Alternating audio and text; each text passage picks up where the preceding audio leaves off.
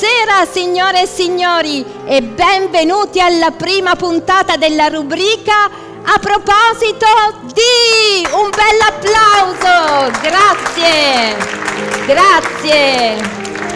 La trasmissione che si collega direttamente coi grandi e famosi spiriti dell'aldilà per sviscerare tutto il dietro le quinte mai conosciuto intorno alle figure che hanno resa eterna la storia con la S maiuscola. Un bel applauso anche al nostro musicista, grazie, grazie, Enrico Bortolotti, che con il suo talento musicale ci accompagnerà nel corso di questa puntata ricca di mistero è un primo esperimento, oserei dire, sciamanico, perché avremo qui, ospiti in studio, invocate solo per voi le anime di personaggi trapassati che si metteranno a nudo di fronte al nostro amato pubblico. Siete dunque pronti per le storie di fantasmi?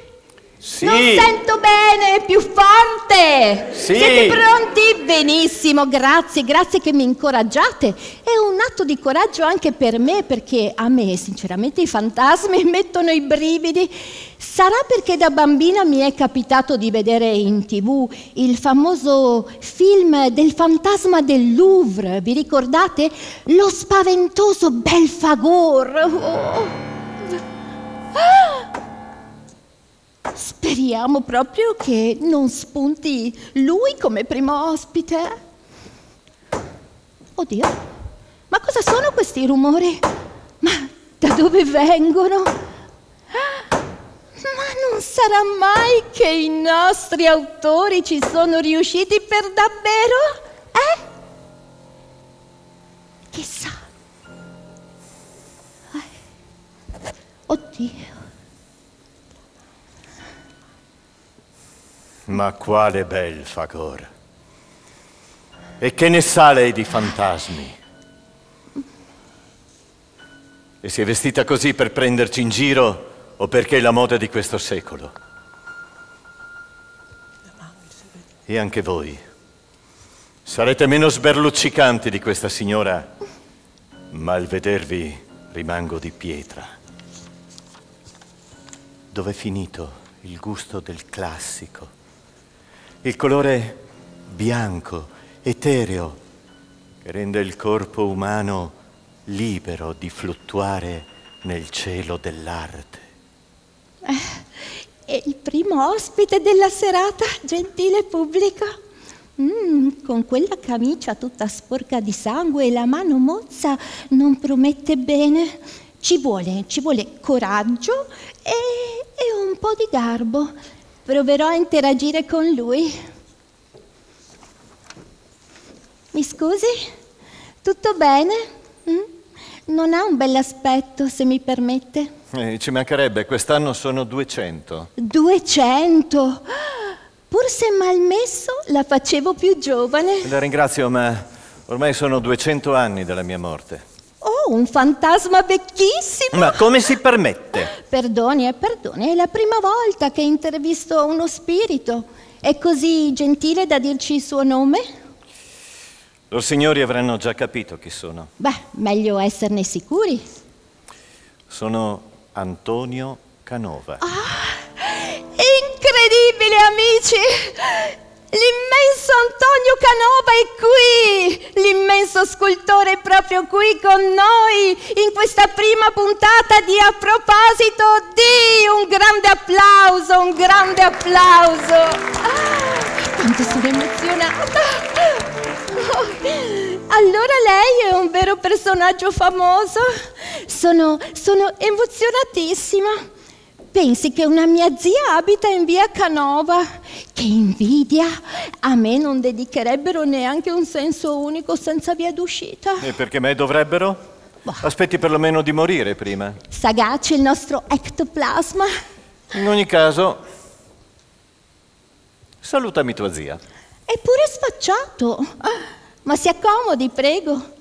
Vuole ricordare velocemente al nostro pubblico i tratti più salienti della sua carriera? Eh, ce ne sarebbe da dire. Entro un'oretta che poi lo spettacolo finisce. Cercherò di non farla lunga perché non amo molto parlare di me. Per la gran parte dei miei 65 anni di vita sono stato immerso nel marmo e nella pietra. Ai posteri ho lasciato innumerevoli opere che, bontà loro, in molti definiscono dei capolavori. Vedo, vedo, che li avete riprodotti qui in sole due dimensioni, ma, ma pensate, eh, come avete fatto? Si chiamano proiezioni video.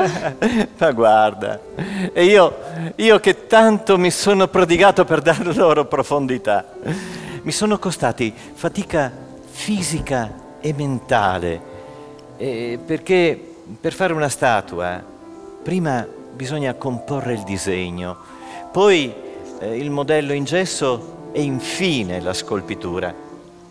Mi sono letteralmente consumato dal lavoro e, e questa macchia rossa qui sul petto ne è la prova. Quali sono le sculture a cui tiene di più? Ma come faccio a rispondere a questa domanda? Sono tutte figlie mie. Mm-hmm. Però però quelle che avete scelto voi, in effetti, eh, sono, sono, le più ammirate. Eh, eccolo, il grande, il possente Teseo su Minotauro. Eh, e poi, poi, eh, poi, l'intelletto, amore e psiche. E infine, no, non infine, infine in questo momento di tristezza, Maddalena pentita eh, ancora la forza, l'espressione eh, incredibile della forza con Ercole e Lica. E sì, sì, un momento triste, la mia amica Maria Cristina d'Austria, il monumento funebre che le ho, che le ho costruito. Eh, la Venere italica, la bellezza dell'Italia rappresentata in una statua. Un altro momento triste, Vittorio Alfieri e il monumento funebre che ho dedicato a lui. È un altro momento della bellezza più pura, le tre grazie. Ancora, ancora Paolina, la mia Paolina Bonaparte. Bene, bene, bene, bene, più ne fa più c'è audience. E infine la parrocchiale di Possagno, dove che ho edificato eh, dove sono stato sepolto, in parte. E infine passo per essere stato il massimo esponente del neoclassicismo.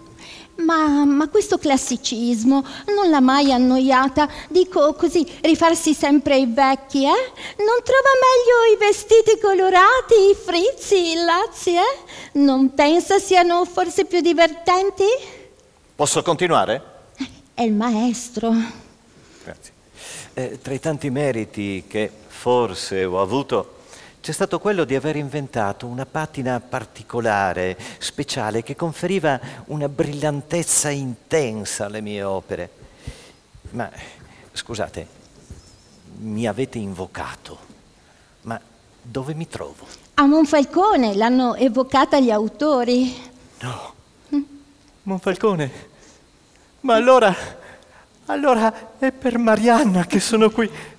Marianna, la mia dolce Marianna. Potrebbe esserci capitato un fantasma con le traveggole. Marianna. Pronuncia il nome Marianna, ma su questo palco non c'è nessuna donna se non la vostra amatissima. E poi Antonio, posso darti del tuo ormai, ma se anche ci fosse un'altra donna al mio cospetto Marianna. sfigurerebbe. Marianna, la mia affettuosissima Marianna.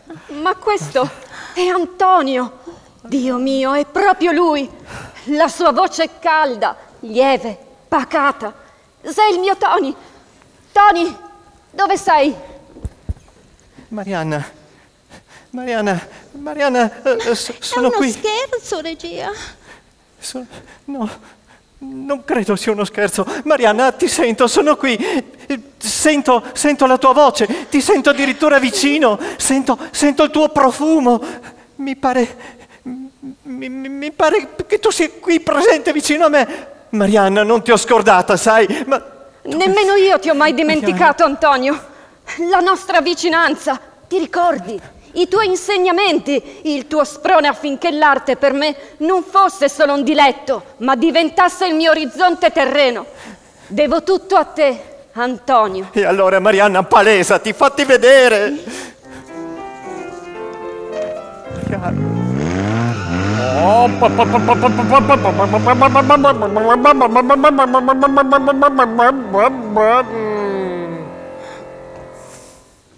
Oh, oddio, ma e questo chi è? Eh?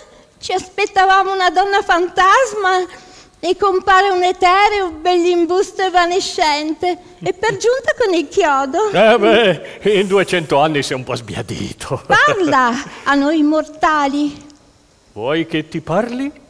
E io ti parlo.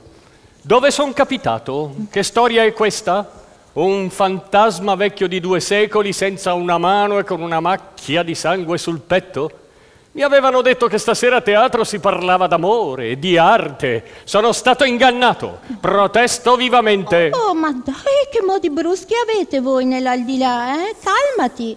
Con tutte le opere fatte dal qui presente signor Canova, vuoi che non prenda forma anche stasera una bella storia? Eh? Siamo già tutti scossi ed eccitati. oh.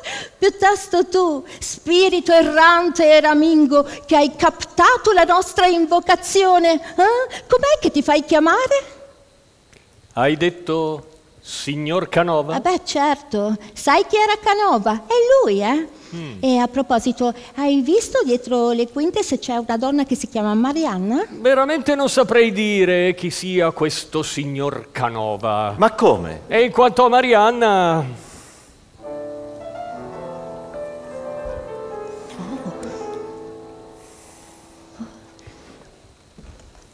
Piacere, sono Marianna Pascoli, un'artista nata e cresciuta a Monfalcone. Il sommo Antonio Canova è stato il mio maestro prediletto.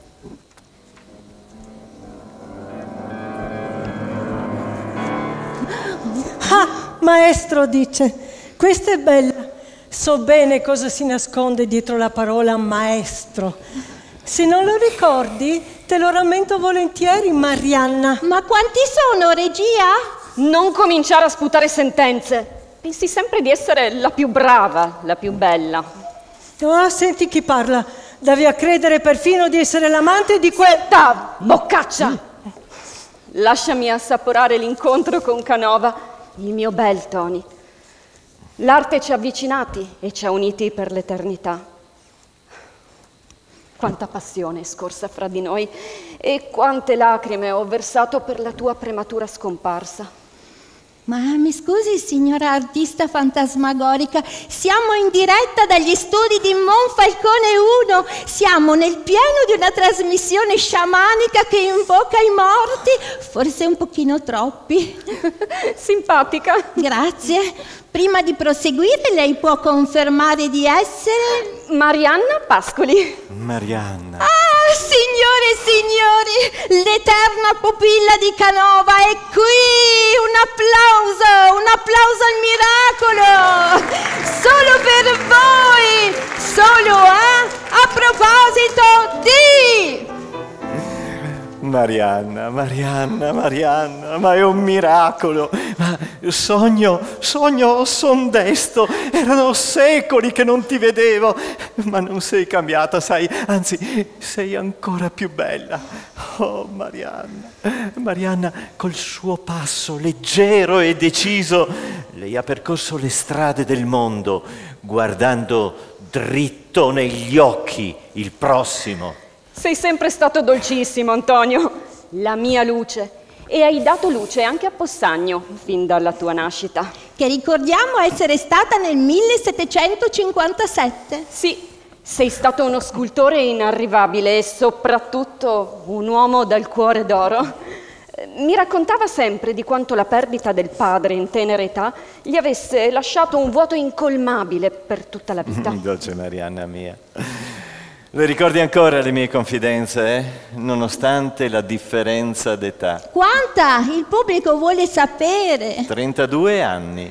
33. Alla faccia, quanta modernità! Sì, dicevo, ma eh, nonostante questo, Marianna, con te al mio fianco, mi aprivo e lasciavo fluire placida la mia natura più nascosta.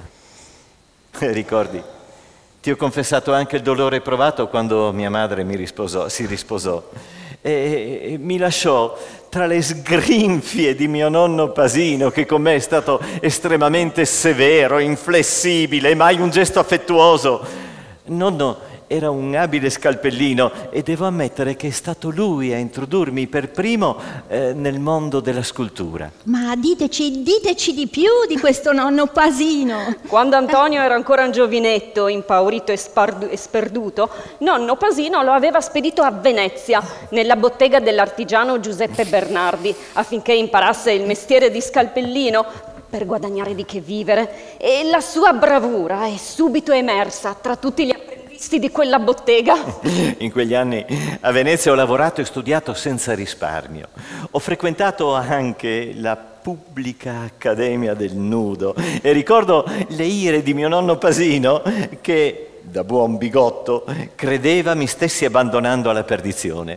In quel periodo, però, in quel periodo mancava una stella nel mio firmamento. Eri tu, Marianna che non eri nemmeno nata. Eh, peccato, peccato averti incontrata solo nell'ultima fase della mia vita. A una certa età tutto è troppo tardi. Non è stato tardi, Antonio.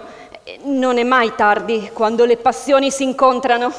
Che dolci parole, che pensieri alati.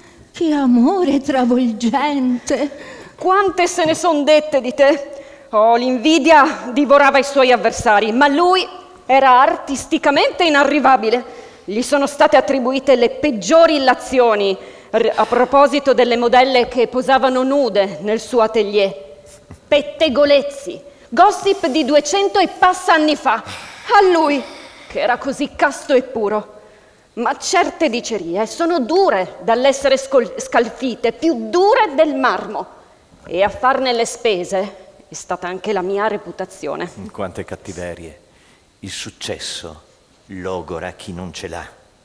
Ho dedicato tutta la mia vita all'arte e solo l'arte ho amato perdutamente. Lo so, lo so, caro il mio Tony, ma la gente è cattiva, maligna, a Roma, a Venezia, come a Monfalcone. Ah, la Monfalcone della prima metà dell'Ottocento, quando go vissuto mi, oh, era tempi bui, ma meno male che la tua luce mega illumina. A Canova sono stati attribuiti numerosissimi flirt, flirt. si dice così sì, oggi, esatto. vero? Ma io che gli sono stato accanto posso testimoniare che le donne erano l'ultimo dei suoi pensieri. La sua arte lo assorbiva completamente. Ma mi faccia, mi faccia comprendere, vissuto accanto, mm. le donne l'ultimo dei suoi pensieri?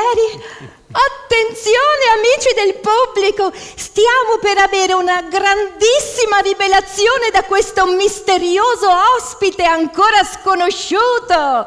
Parlaci, te ne prego. Eh sì, è venuto il momento che io sveli la mia identità. Sono Antonio. Ehi! Ah, e la redazione ha invocato un secondo Antonio. C'è un errore di scaletta, ma si sa che nell'invocare i morti dobbiamo aspettarci di tutto. Anch'io mi chiamo Antonio. Antonio Deste. Così va bene. Sono stato un discreto pittore e pure di scultura mi intendevo. Coetaneo di quest'altro immenso Antonio, gli sono stato vicino come amico, collaboratore, aiutante e segretario. E infine sono diventato anche il suo biografo. Sul rapporto tra il maestro e la vostra Marianna Pascoli mi rifaccio a quanto scrisse Giacomo Pocar a fine Ottocento nel suo libro su Monfalcone. Su di lei Canova pose affetto speciale.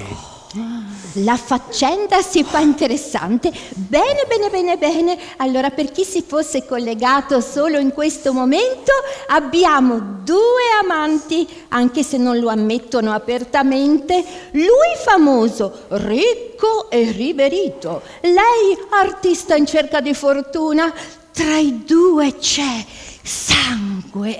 Eh, sì, insomma, c'era sangue. E ora senza sangue se la intendono ugualmente, ma il loro amore è costretto a rimanere segreto e sulla loro storia lo percepisco dallo sguardo di quest'altro taciturno fantasma incombe la minaccia di chi è pronto a spargere veleni. Sbaglio? Veleni? Ma che? Se è tutta verità. Oh, questa Marianna, quante belle parole le sono state dedicate. Non se la, non se la meritava tanta attenzione da parte di Canova. Ed è solo per compiacere all'artista, mio intimo amico, che invitavo Marianna alle feste che organizzavo nei salotti dei nobili veneziani. Certo Marianna non era nobile. Malignità, Giustina! Sei intrisa di perfidia! Attenzione! La chiamata Giustina! Un vero e proprio scoop celeste! Ma non saremo mica il cospetto di... Giustina Renier Michiel, la nobilissima Giustina Renier Michiel. Oh, che bello! Sa che non so nulla di lei? E allora perché lei si agita tanto? Perché sento che gli ascolti vanno alle stelle, anche se non ti conosco. Ma come la fanno a conoscermi? Ti credi chissà chi solo perché sei nata nobile, rampolla di una delle famiglie più celebrate nella storia della Serenissima.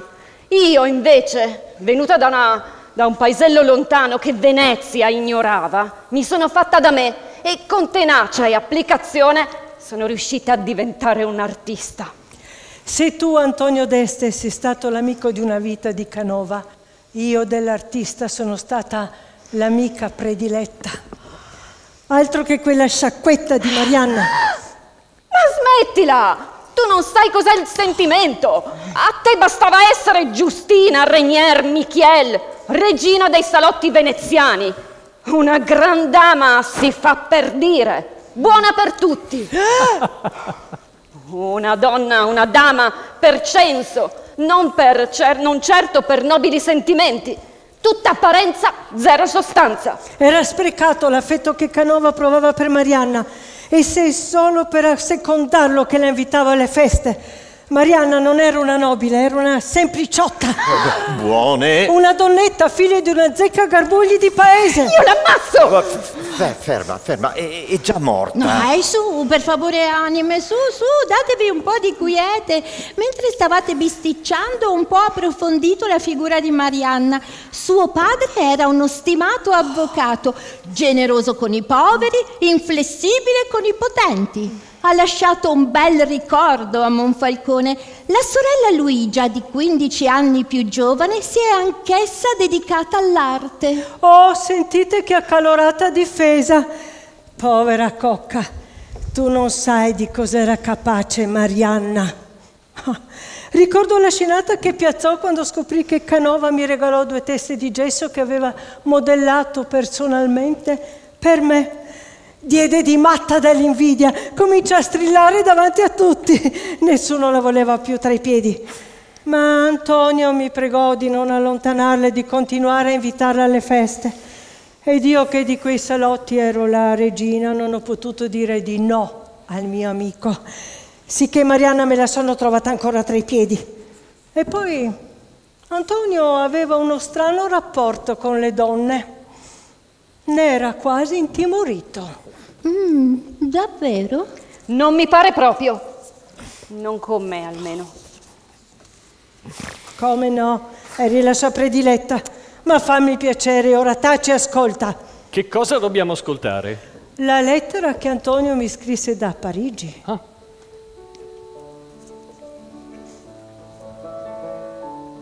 Fu ospite di Bonaparte, che gli aveva commissionato la celebre scultura ritratto di Napoleone come Marte pacificatore. Una statua stupenda. Non è vero, gentile pubblico? Finalmente sento dire qualcosa di sensato. Sì, la statua è perfetta. La scultura è alta quasi 4 metri e possente. Sembra quella di un dio da adorare. Un Marte pacificatore completamente nudo, con in una mano la lancia e nell'altra il globo con la vittoria alata Sì, di sì, rame sì. dorato. Va, va bene, va bene, va bene, ma che cosa c'è scritto nella lettera? Giusto, eh, che dice questa lettera? Eccola, la porto sempre con me.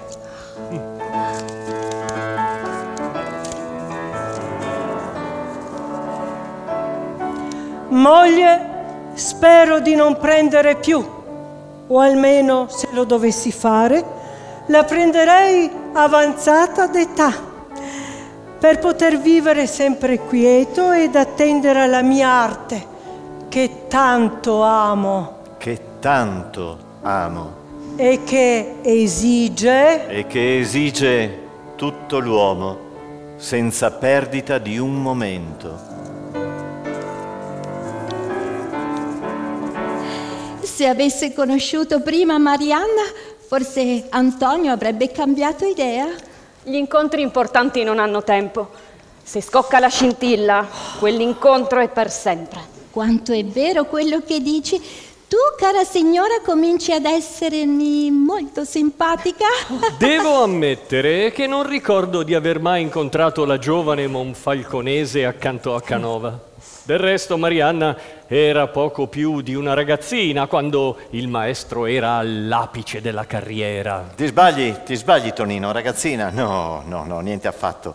E lo so con precisione, era il 1817 quando la incontrai per la prima volta e aveva 27 anni. Lo so perché subito dopo scrissi una lettera al mio amico Giovanni degli Alessandri di Firenze, presidente dell'Accademia della città toscana, per ringraziarlo di avermi raccomandato l'artista monfalconese Marianna Pascoli. Ora che ci penso, devo avere da qualche parte una copia della tua lettera. Eccola qui, eccola qui. eccola. I nostri ospiti fantasma non sono certo venuti a mani vuote. Non dica mani, per favore. Pardon. Eh, dunque scrivevi, sono veramente lieto di vedere che qualche donna sia dedita all'esercizio della pittura, poiché sono rare quelle che seriamente vogliono o possono applicarsi alle nostre arti che richiedono cure, studi e mezzi che non sempre sono conformi agli usi e modi del bel sesso. Antonio, non fingere di ignorare il vero motivo per cui quel giorno Marianna giunse al tuo cospetto. Sfoderando le sue grazie, sperava solo che ti infatuassi di lei per avere un alleato autorevole nel mondo dell'arte, che le aprisse quelle porte che con i suoi quadretti non sarebbe mai riuscita a forzare. Insomma, Giustina, su, su, non hai altro da dire se non denigrare Marianna e la sua rispettabile famiglia. Mi non su. denigro, mi dico la verità. Ma Vardi mi evoca e poi mi censura. E che verità sarebbe? La verità è che ti... La verità, la so solo io. E non ho nulla di cui vergognarmi. Sono nata a Monfalcone il 26 ottobre 1790. Mio padre era un avvocato e si chiamava Giacomo Alvise. Mia madre di nome faceva Domenica Angeli. Erano originari di un paesino della Carnia, Colza di Maiaso, frazione di Enemonzo. Avrebbero fatto un dono all'umanità a restare tra i monti. Oh, lasciala finire, Giustina. Nemmeno io ricordo bene la sua storia. La carnia? Non sapevo. Sì, poi i miei scesero qui a Monfalcone, dove era parroco Don Biagio, zio di mio padre, e andarono ad abitare nel rione di San Rocco. Io crescevo qui in un paesotto che allora aveva 4.000 anime, dominato da un colle di pietre sulla cui sommità c'era un antico castello abbandonato. La rocca. Ecco lì dovevano rinchiuderti da piccina. Eh, ma sei una vipera, eh? Tu sei peggio di un fantasma. Sin da piccola ho avuto una predisposizione per la pittura. Da autodidatta durante le vacanze in Carnia ho dipinto alcuni affreschi e delle pale d'altare e nelle chiesette sparse fra le frazioni di Enemonzo e negli anni a seguire anche mia sorella Luigia ha fatto altrettanto. Tutto qui? Mm, visto che non hai nulla da fare, invece di stare qui a sparlare, perché non vai a verificare di persona cosa ha dipinto Marianna? Su. Do- dove? Al Louvre di Parigi? Scommetto che lì sia pieno zeppo di sue opere, anzi lo hanno anche allargato per farcele stare tutte. Mm, già, lì, dove c'è Belfagor, che se ti incontrasse scapperebbe. Non datele retta. Si sappia che ho dipinto la pala di Sant'Antonio, della Beata Vergine e San Mattia nel 21 il ritratto della contessa Margherita Antonini Belgrado nel 20, poi a Venezia il trittico con la Beata Vergine con due santi, Sant'Anna che insegna le sacre scritture alla Vergine Bambina. E la Madonna con il bambino sempre tra i santi. Cogliendo l'occasione di vedere altre opere di Marianna, ecco dalla regia un breve intervallo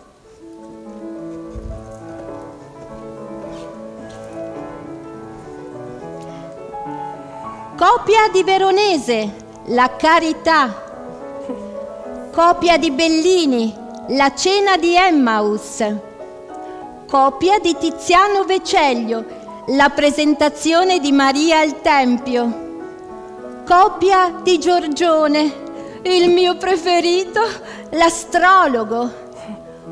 Copia di Polidoro Lanziani, l'allegoria delle tre età dell'uomo copia di Guido Reni, San Giuseppe con il bimbo, fine intervallo. Ah, Marianna era proprio un'artista vera, completa. Ma se copiava? Eh no, e qui ti sbagli di grosso, Giustina. In quei tempi la copiatura in miniatura delle grandi opere era considerata anch'essa un'opera vera e propria. Ci voleva molta abilità nel disegno e nella preparazione del colore.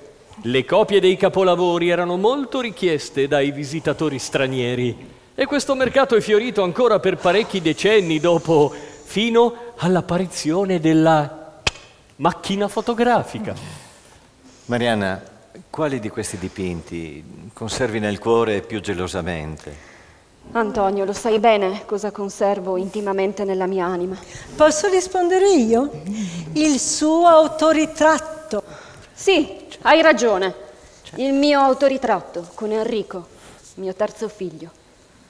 Lo dipinsi nel 1842, poco prima della sua prematura morte. Fu un dolore straziante vederlo deperire giorno per giorno per un male incurabile.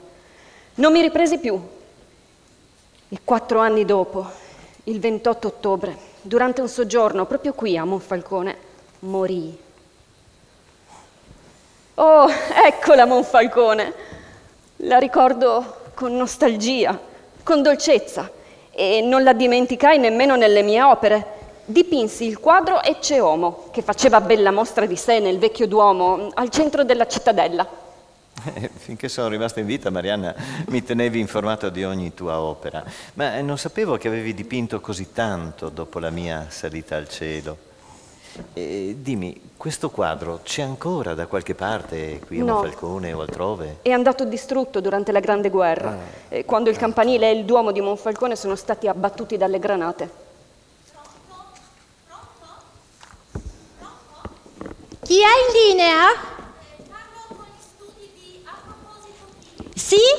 Con chi abbiamo il piacere? Eh, sono Luigia Pascoli, sorella di Marianna. Incredibile amici! Che sorpresa della regia che è riuscita a mettersi in contatto telefonico con l'oltretomba e abbiamo con noi la sorellina. Eh sì, sono la sorella più piccola e Marianna è stata la mia insegnante. E poi sono andata anch'io all'Accademia delle Belle Arti di Venezia e anche io ero brava a copiare. E volevo appunto ringraziarla. Ma poi eh, ci tenevo a dirlo, eh, mi riuscivano bene anche i ritratti.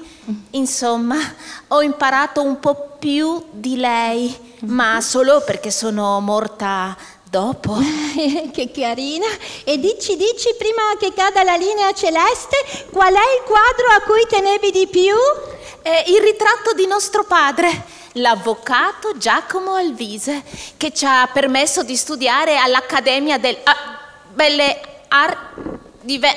pa- Mar- Oh, ai ai ai, che peccato, come immaginavo è trapassato anche il collegamento satellitare. Eh, giù c'è poco campo, camposanto. Ringraziamo comunque per la sorpresa la sorella Luigia che purtroppo non poteva essere con noi stasera, ma ci teneva a fare un saluto a Marianna. Sei contenta Marianna? Un applauso a Luigia, forte, forte, così lo sentirà sicuramente.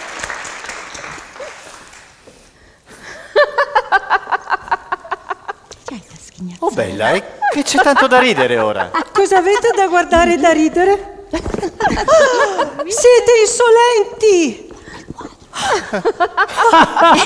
Tonino, sei diventato matto per caso? Ma, ma cosa vi prende? Almeno, almeno raccontate anche a me perché possa ridere anch'io un pochino. Ma insomma, che, insomma, che modi sono questi? Mi state oltraggiando, è inammissibile. Io sono la figlia di un doge, il doge Andrea Renier.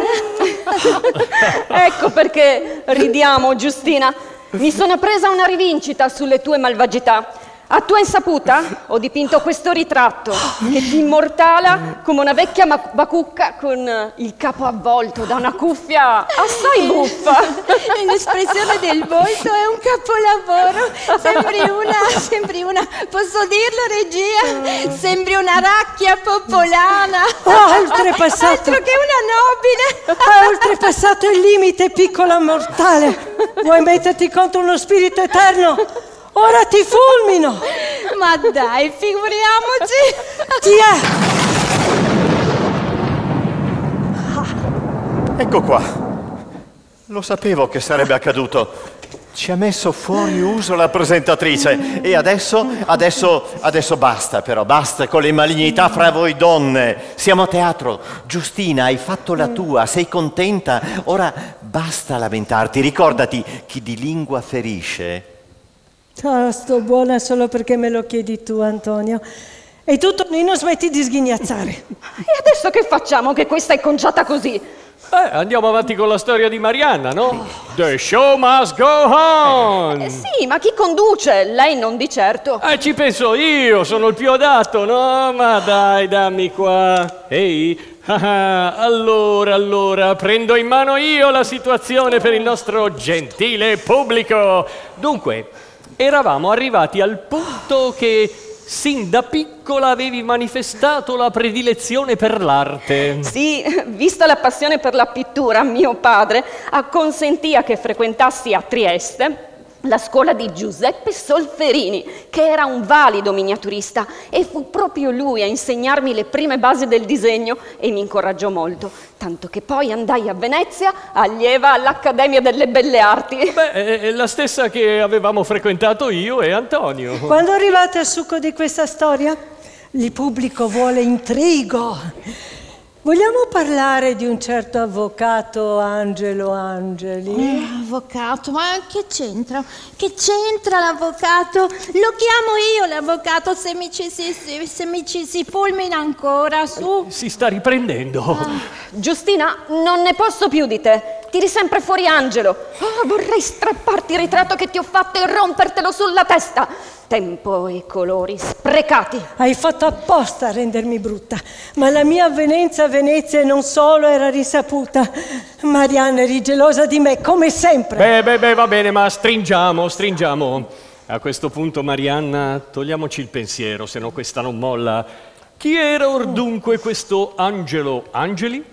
Era mio marito, si capisce. Abbiamo avuto tre figli. Ah, ah. Oh là là, che colpo di scena, amici! Eccola, il gossip ha annullato il mio fulmine. Riesco a vedere la verità del passato. Ma, ma, ma Giustina, cosa le hai fatto? Il padre però non vedeva di buon occhio l'avvocato Angeli, forse perché faceva il suo stesso mestiere. È vero, fu proprio così. E per tenermi alla larga dal corteggiatore, mio padre acconsentì alla mia richiesta di visitare le città d'arte per imparare i capolavori dei grandi maestri. Le ragazze di quei tempi, quelle di buona famiglia, erano per lo più avviate a diventare spose o monache. In questo caso, invece, i genitori di Marianna rivelarono una modernità per quei tempi sorprendente. Esatto! Alla fine, nonostante l'opposizione di mio padre, sposai Angelo e mio padre non me lo perdonò. Eh, non venne neppure al matrimonio che celebrammo a Trieste. Poi con mio marito andammo a Venezia. Eh, Giustina, ascolta, ma cosa c'è di tanto scandaloso? Che mentre eri sposata prendevi lezioni di scalpello. Ah, ma siamo di fronte a un pubblico moderno che capisce che una donna può fare le sue scelte. Qui non scandalizzi nessuno, Giustina. Mettitelo in testa. Aggiornati. Medioevo. Brava Marianna, brava, ti sei fatta valere. Non era semplice per una ragazza di quel tempo essere libera di scegliere la propria strada. E se ci penso, nemmeno io sono stato libero di farlo. Fu nonno Pasino a indirizzarmi alla scultura affinché lavorassi nella sua bottega, ma solo perché lavorassi nella sua bottega. E invece la provvidenza ha deciso diversamente. Taci, Antonio! A me taci? Giustina, dalle un altro colpo? Ora, ora ho la visione chiara e limpida. Marianna è stata una donna forte e affascinante, moderna, oggi più che mai attuale, un esempio di emancipazione, enigmatica. E vedo e vedo che dopo la sua morte un esperto di grafologia ha esaminato la sua scrittura per delinearne la personalità. E che cosa è emerso? Vedo davanti a me la perizia! Donna ambiziosa, dall'intelligenza non comune, risoluta e consapevole delle proprie capacità. Ah, fa la visionaria, me la leggi dalla cartellina. Silenzio!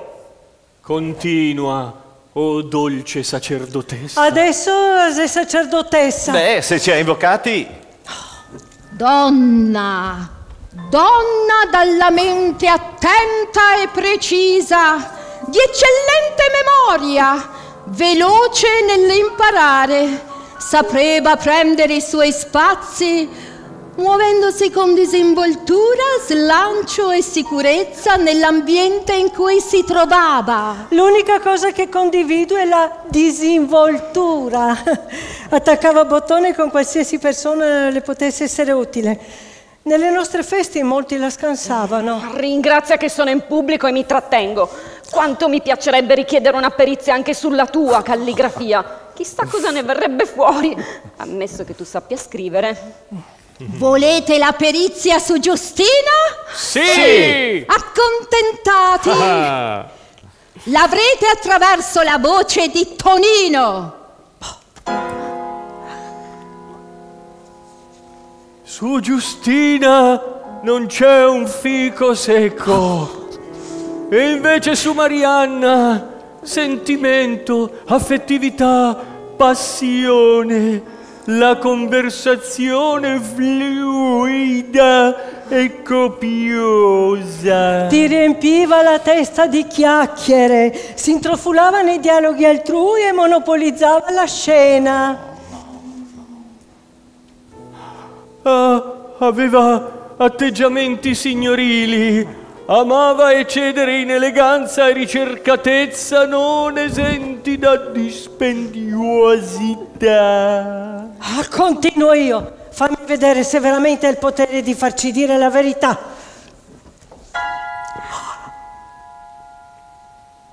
Intimamente dibattuta da impulsività e impazienza, da passionalità collerica e da facile risentimento. Eh, nessuno è perfetto. Ah, però va aggiunto che riusciva a domare tali sentimenti grazie al ragionamento e senso critico che la portavano a scelte lungimiranti e a grandi obiettivi. Silenzio, lancio un altro fulmine. Eh, vorrei farla smettere, ma non ci riesco. Ora vedo! Marianna, spiccatamente lucida e chiara nella progettazione delle sue azioni intraprendente, brillante, originale nell'azione, ma astuta e pronta a ricorrere a simulazioni ed espedienti. Mm, Marianna, Marianna, ma che dice? Realizzare i propri scopi. È spinta da istintiva sopravvalutazione di sé, tendeva a far accettare agli altri il proprio modo di pensare con forza ed energia non prive di una certa aggressività. Adesso giuro che la faccio E smettere. a ciò si aggiungano permalosità e difetti di autocritica. Ah!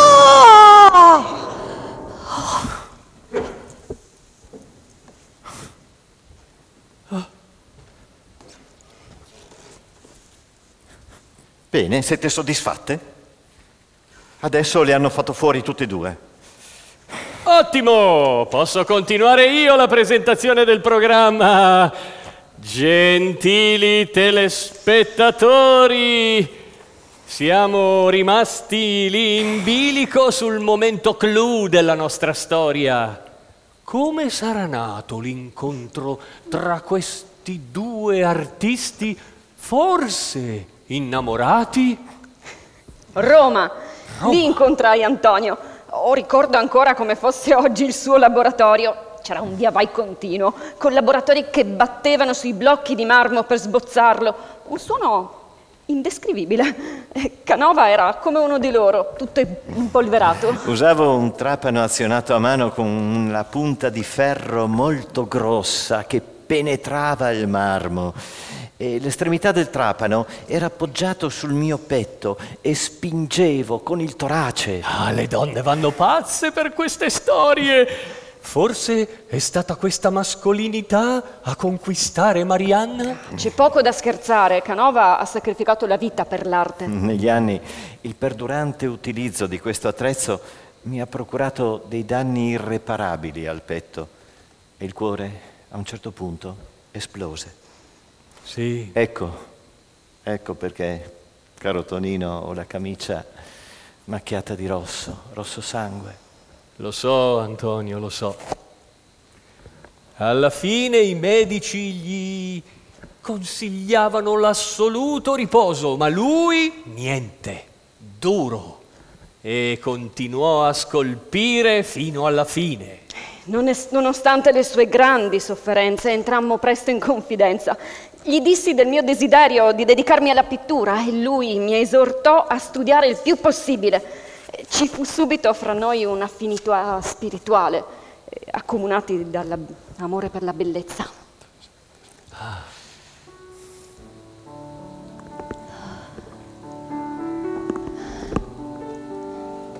Gentile pubblico, che fantasmagorica serata! Ah, ho un'altra visione. Ci risiamo. Ah, nel senso che la vedo proiettata dalla regia stavolta. Il cameo che Canova realizzò per Marianna. Ti riferisci a questo?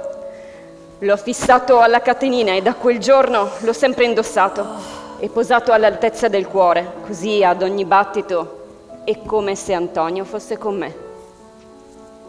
Il cameo al collo.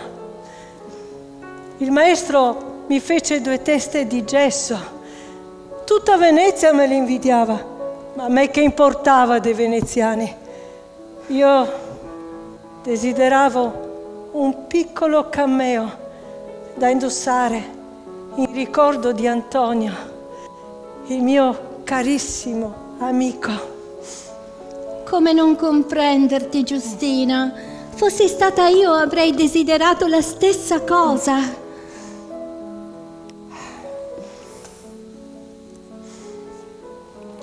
Il mio cameo. Sì, Antonio. Questo è davvero il segno indelebile della nostra affettuosa amicizia. Scolpito per sempre, in primo piano, anche sulla lapide di mia madre Domenica, nella chiesa della Marcelliana, proprio qui a Monfalcone. Ecco, ci siamo. Ci richiamano nel regno delle ombre. Ognuno torni al proprio giaciglio. Ma io voglio assaporare ancora la vita. È troppo presto, non vivevo emozioni così da tempo. La campana è stata chiara. Cosa rimarrà da noi quando ci dilegueremo ancora? I resti, mia cara. Ognuno dei vivi vuole un pezzo di noi per sé. Mm, Dice così perché è stato smembrato. Oh, fui conteso tra Venezia e Possagno, sede della mia tomba monumentale. Venezia ottenne il cuore, sede dell'anima, posto ora nella chiesa di Santa Maria Gloriosa dei Frari. La mano destra, sacralizzata dal grande lavoro, fu tagliata e custodita all'Accademia come laica reliquia per proteggere gli aspiranti artisti. La mia mano, che mi ha permesso di diventare quello che sono stato e di accarezzare il viso di Marianna, che ora svetta sul campanile di San Marco. Un momento. Secondo richiamo, fra poco al terzo svaniremo. No, no, no, no, no, non svanirete. Un momento, dico. Un momento. Cosa significa che il volto di Marianna svetta su San Marco? hm? Un altro smembramento macabro per un finale horror? No, no, molto più semplice. In punto di morte, nel 1822, 200 anni fa, ho ordinato all'amico artista Zandomeneghi un busto che ritrae Marianna. Ma in quell'anno Zandomeneghi era impegnato eh, a costruire la statua dell'Arcangelo Gabriele per il campanile di San Marco.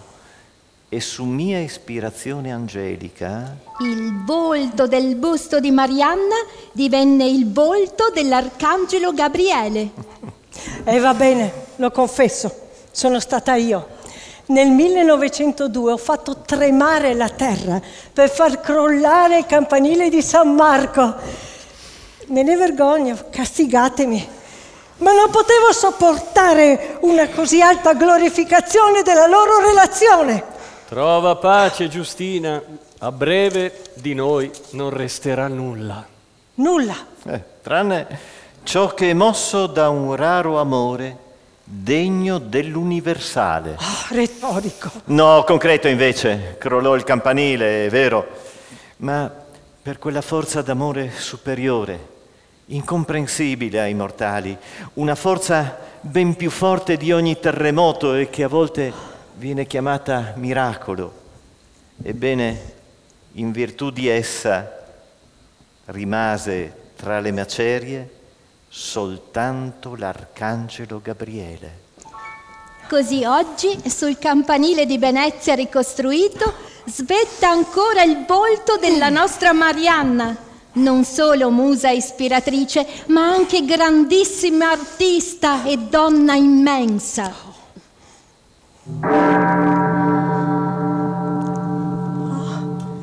È il nostro ultimo richiamo. Il tempo concesso per rimanere tra i mortali è terminato. Ma questa storia del- dell'arcangelo lì sul campanile non la sapevo nemmeno io. Andrò a controllare prima di rientrare. Per noi abitanti dell'aldilà è un attimo volare sulla punta del campanile.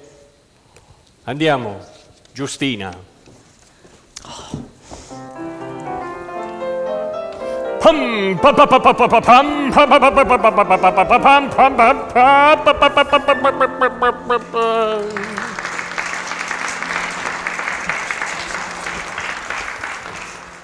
Addio Antonio, al tuo prossimo anniversario, se mai saremo ancora evocati. Tanto si è detto sulla nostra storia, ma il sentimento che abbiamo vissuto sarà per sempre solo nostro, come un segreto che porteremo via con noi oggi. Il nostro segreto, cementato dall'amore per l'arte e dall'arte dell'amore.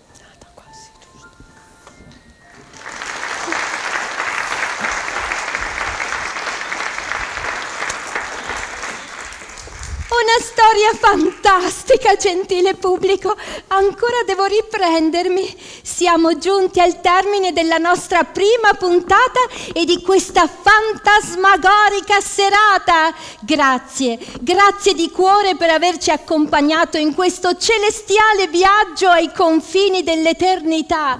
E mi sento di dire che ora sta a noi mantenere sempre vivo l'amore intriso d'arte rivelatoci stasera da Marianna Pascoli e dal suo Canova.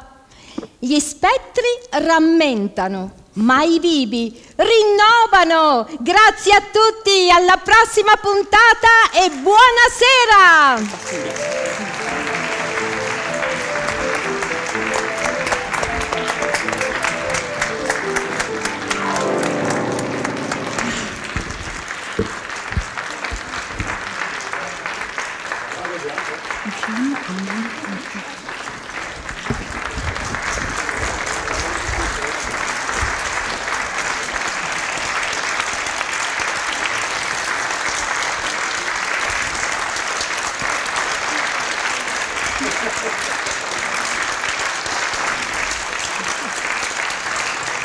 Il maestro Enrico Bortolotti.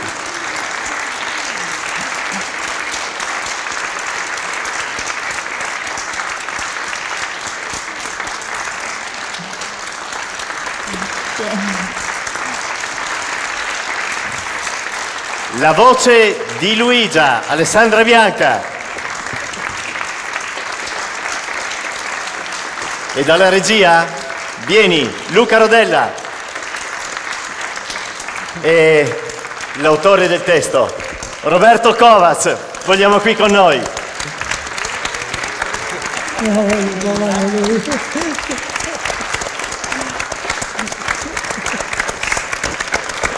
Grazie Roberto. Grazie. Un grazie, un grazie particolare anche a Lorenzo, a Luca e a Silvio che ci ascolta da casa, i nostri tecnici. Roberto, vuoi dire qualcosa? Colpire l'emozione e soltanto complimenti veramente perché sono stati fantastici.